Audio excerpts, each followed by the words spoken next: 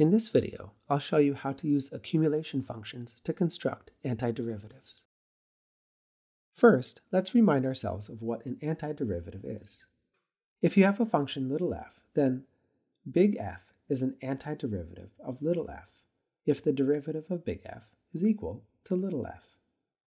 For example, if little f of x is x cubed, then big F of x would be 1 fourth x to the fourth plus some constant c, because the derivative of 1 fourth x to the fourth plus c is x cubed. But what if you had a function like e to the negative x squared? You can't use the power rule or rules for exponential functions. Unfortunately, none of our basic derivative rules work. The formal way to say this is that f of x doesn't have an elementary antiderivative. It turns out that you can actually use accumulation functions to construct antiderivatives. Let's look at an example and think about it in terms of velocity and distance. We'll start with a graph. Here are a set of axes. We'll think of the function v of t equals e to the negative t squared as describing the velocity of a car.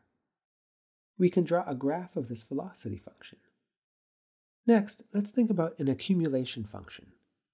Here, d of x tells us the amount of distance the car accumulates between time negative 3 and time x. We want to know about the rate of change of this accumulation function. For example, if we imagine the distance accumulating, we can ask, how quickly is the distance accumulating when x equals negative 1? It is difficult to determine this because the rate seems to be constantly changing. To make things a little easier to think about, let's imagine a Riemann sum approximation of this total accumulated distance. Let's think about what this Riemann sum is telling us. If we look at one of these bars, we know that it has a width that corresponds to the amount of change in time. In this case, one second.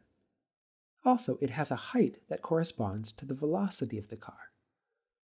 Now, the reason this bar has a horizontal top is because we're assuming that the velocity is constant through the entire one second interval.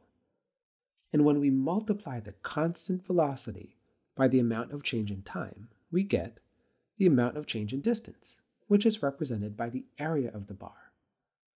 Let's think about the rate of change of distance with respect to time, just for the interval between negative 1 and 0 seconds.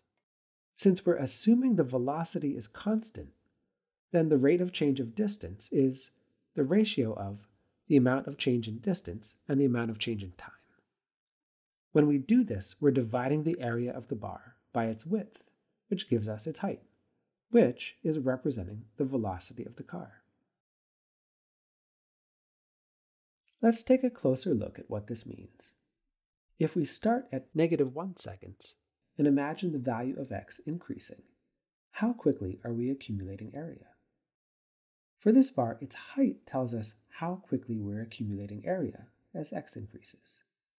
So the value of v of t tells us the rate of change of distance as we increase x. Similarly, if we keep increasing the value of x, now we're accumulating area at a much faster rate. Once again, the value of v of t tells us the rate of change of distance as we increase x. And we can imagine doing this using a Riemann sum that had much shorter intervals. In particular, for each value of x, the rate at which we would accumulate area would be given by the height of the graph. That is, the rate of change of distance would be given by the value of the velocity function. And if we shrink our time intervals enough, then the rate of change of distance with respect to time would be the same as the instantaneous velocity.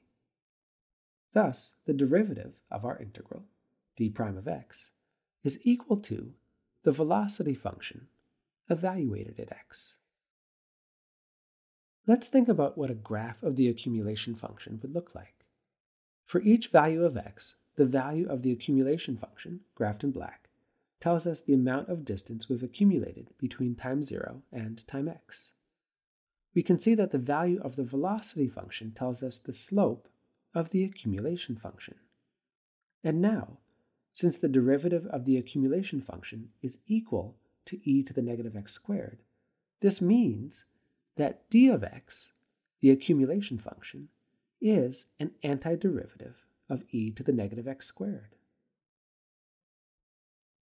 So, in general, if you have an accumulation function, a of x, for a function f of x, then a of x is an antiderivative of f of x.